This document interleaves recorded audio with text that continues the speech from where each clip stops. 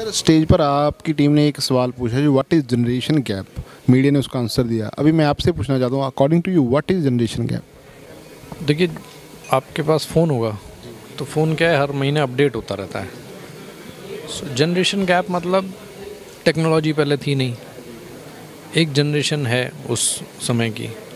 वो जिन्होंने अपडेट कर लिया अपने आप को समय के साथ, वो तो ठीक है एडजस्ट हो रहे हैं, लेकिन जो नहीं करते हैं या नहीं कर पाते हैं जो कि बहुत नेचुरल नॉर्मल है। वो ये गैप क्रिएट कर देता है। तो उसी को जनरेशन गैप बोलते हैं। तो आप भी जैसे इस फ़ील्ड में हैं, हर रोज़ घर जाने का मौका नहीं मिलता होगा बहुत टाइम बाद घर जाते होगे। तो आपने अपनी लाइफ में ये चीज़ फेस की है?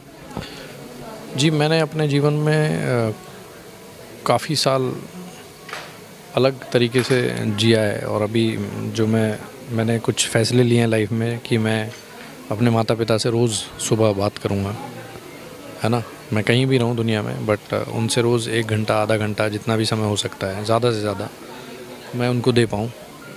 तो टेक्नोलॉजी की वजह से ये हो गया है कि उनको देख भी पाते हैं वीडियो कॉल के ज़रिए और बहुत सारी चीज़ों के ज़रिए बट हम सबको अपने माता पिता को साथ लेके चलना चाहिए।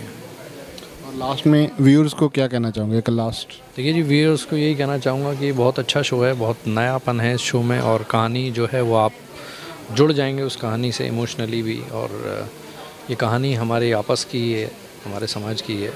आप देखिए जो भी प्रतिक्रिया रहे अच्छी बुरी बताइए हम लोगों को कलर्स को बताइए।